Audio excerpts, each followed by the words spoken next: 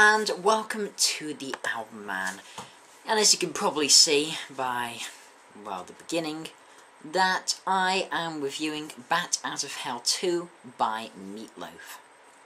And this is the direct sequel to the original, yet, as the first had no real coherent or narrative really, um, it really just continues the various themes, and yeah, it's a continuation thematically more than actual story-wise.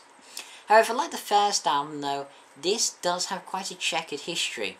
I mean, this was released in 1993, and the original was in 1977, so that's a good 16 years between them. So why did it take this long? Well, after the phenomenal success of the first one, the record company demanded that Steinman started to produce a follow-up, which was tentatively titled Renegade Angel. And due to various reasons, including Meat losing his voice, which happened after the Bat Out of Hell tour, that that tour took a lot of toll on his voice, and it's really never been quite the same since. Um, Steinman, however, he wanted people to hear these songs, so put them on his solo album Bad for Good, and even put a couple on the Pandora on the band Pandora's box. Um, their album original Sin, which was a bit of a commercial flop, and now that band Pandora's box, in, I think, was an all-girl group put together by Steinman, and was not that successful really. However, in the early 90s, the spectacular duo of Meat and Jim recorded the follow-up to one of rock's greatest and most over-the-top albums. But does it really live up to the standard set? I mean, this is Bat Out of Hell that it's following up anyway. So anyway, it kicks off the famous I'd do anything for love, but I won't do that. And, yeah, I mean, this really takes away any doubt people had I mean, it should have been shoved aside when it had this 12 minute epic. I mean, this is Steinman we're talking about, so it's not exactly going to be a short song, or album for that matter. And it started the sound of a motorcycle created on guitar, like, I don't know, a certain title track we looked at before. And then you get a nice long intro, which, hmm, reminds you of anything? I mean, then Roy Bittan's roaring piano with guitar over the top before the voice of Meat comes over. And for the first chorus, it really shows how it seems to link perfectly to the first album. And it's very much the same style as the last album. It has that exceptionally catchy chorus with uh, that signature operatic style feel even from Steinman. And even though the song is pretty long, it suits it. It changes pace enough to keep itself fresh and interesting, especially the duet at the end with Lorraine Crosby, who is simply credited as Mrs. Loud on the actual like linear notes. And her voice works really well with Meats. They they complement each other fantastically. And I do love the duet Steinman writes, like of course on Paradise by the Dashboard Light, my favourite Meatloaf song. And of course there's the famous what will what is the thing that he won't do as it's always referred to and I won't do that. Well, I think I have an answer to what it is. It's never been answered by Steinman or Meat, but I, I, think I have an idea. You see, I think actually it's a reference to Rick Astley is never going to give you up. So the thing that he won't do is clearly, well, give her up. So, then we get to Life is a Lemon and I Want My Money Back. Now this, this is one of my favourite song titles of all time. I mean, Life is a Lemon and I Want My Money Back. How bloody good is that as a title? And the, also the fact that the phrase is repeated in the chorus just makes this song epic, no matter what else it contains.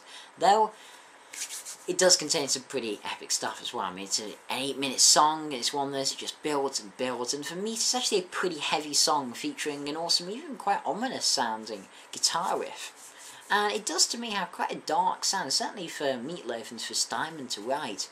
And it is an unexpected change of pace. It's different, but probably one of my favourites from the album, and it has an awesome guitar solo as well.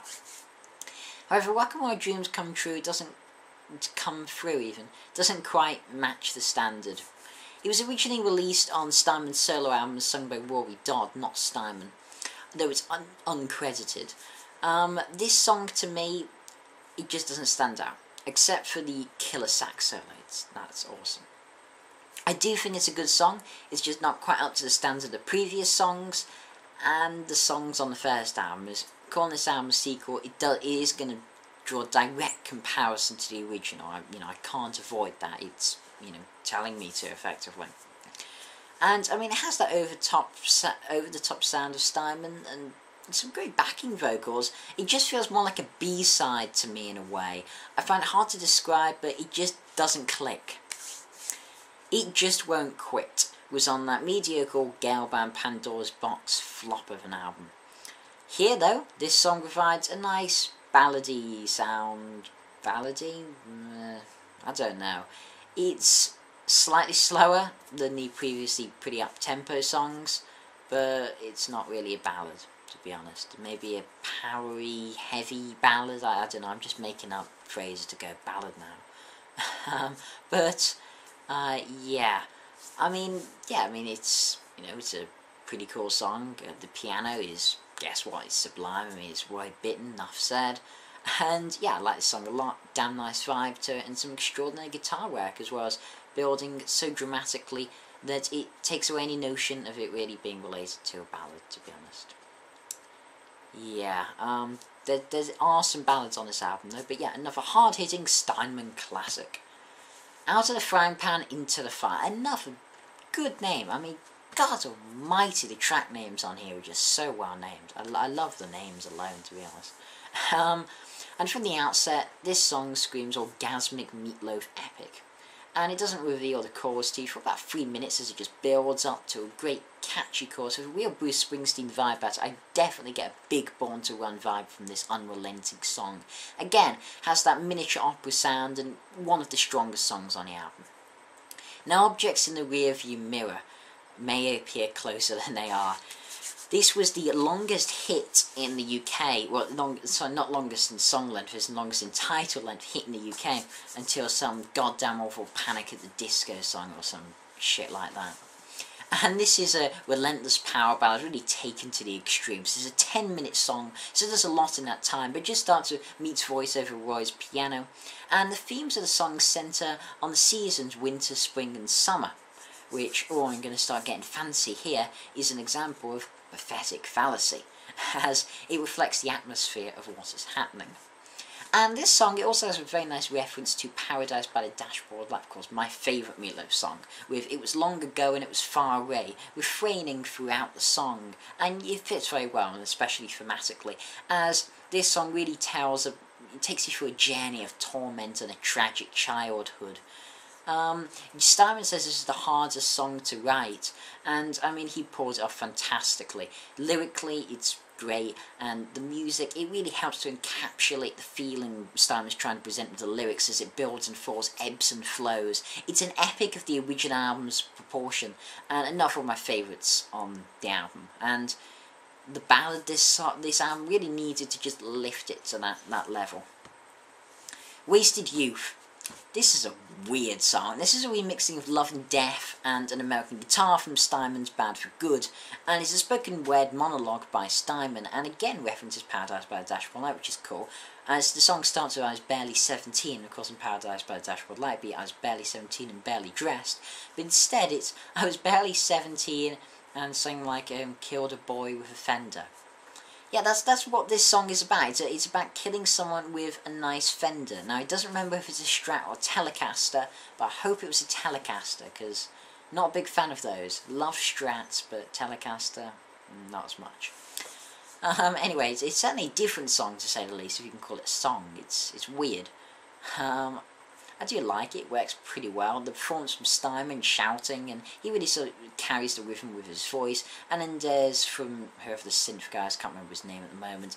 Um, there's basically a bit of synth and weird sound effects behind his voice. And yeah, it works very nicely. It's a very interesting song. If anything, it reminds me a little bit of, um, this is going to sound weird, it reminds me a little bit of Sonic Attack by a Hawkwind. Yeah, I do love that song. That's that's a, such a funny song. But it reminds me a little bit of that, actually. Um, and then we get to Everything Louder Than Everything Else, which is a really bombastic song that contrasts heavily to the spoken word before. But it really follows on perfectly from Wasted Youth, with the even the shouting of the phrase Wasted Youth. And yeah, it's just another big rock opera, giant drum sound overbearing guitar, and standing piano combined with catchy as hell choruses. And yeah, Meat delivers this song especially with such a power. There really is nothing to dislike about it except maybe the random mass bagpipes in it. I don't quite get them, they just don't fit. It's like, oh, the song's ended.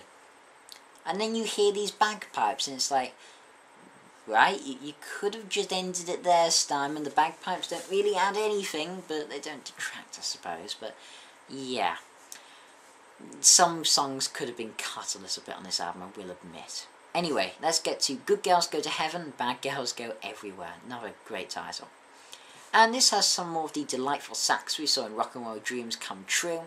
And this was first released, like a couple of others, by Pandora's Box. Like, was it It Just Won't Quit? I can't remember. There's, I can't even remember now which songs it was. But yeah, there were a couple released by Pandora's Box right now. Anyway, um, I can't actually have much to say about this song. I mean, it follows a similar style to the rest, it just isn't quite strong. It has a weird, weird instrumental in the middle. Uh, but the chorus is sublimely catchy, so yeah, decent song. Back into Hell then, mm, no, no, it's, it's another slightly strange song on the album. It's just a little two and a half, three minute instrumental, and consists of just synths from um, Jeff Bova, that's him. And I can't say I like it that I mean, the synths have a bloody dramatic, overbearing sound to them.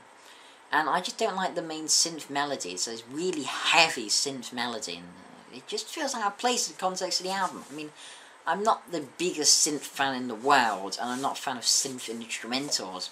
I don't even know why this was included in the album. It has, I don't see that it has massive thematic purposes, and it doesn't really feel musically that good, and uh, you just may as well have been left off. I don't see why it's there. But Lost Boys and Golden Girls, quite a short song from um, Steinman, ends the album nicely. It's another ballad, and on piano it's Bill Payne, not Bittan for some reason, who knows why. But it sounds lovely, so that's okay. And yeah, it's a nice way to end the album. It closes it quite gently with just a, a nice, catchy ballad just like um, the, whatever the hell it was that ended the original, which I can't remember now. Anyway, this album, it may not quite soar to the heights of the original, but it is a ride back into hell that every Bat Out of Hell fan should hear. It's effectively more that same mini-opera, overblown style, and I think it's a blast to listen to and recommend it to anyone who liked the first. However, I do have some complaints. It feels a little too long to me. I mean, it's about 75 minutes, while the first is about 45. Now, it doesn't ever quite feel tedious, but they could have cut some songs, but as I was saying about the bagpipes, could have cut that, could have cut back into hell, in my opinion. They really could have shortened this down. I think if it was maybe 65 minutes, you know, it might have worked a little better. And it could be quite off-putting for people, this amount of music. And I also think this album doesn't particularly expand or innovate much on the first one. It really keeps the successful formula relatively the same, even though it's 16 years later. Now, that's not necessarily a bad thing, because, well, Bat Out of Hell is a monster of an album, but it might have been nice to see a, a little bit more variety musically.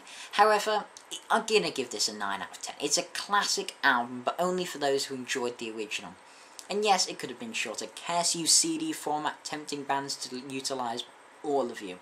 Who knows how long albums might be if we have 100% digital. Bloody hell. Yeah. Anyway, this has been the Album Man. Thanks for watching. Can't wait to subscribe, and as usual, long live rock and roll.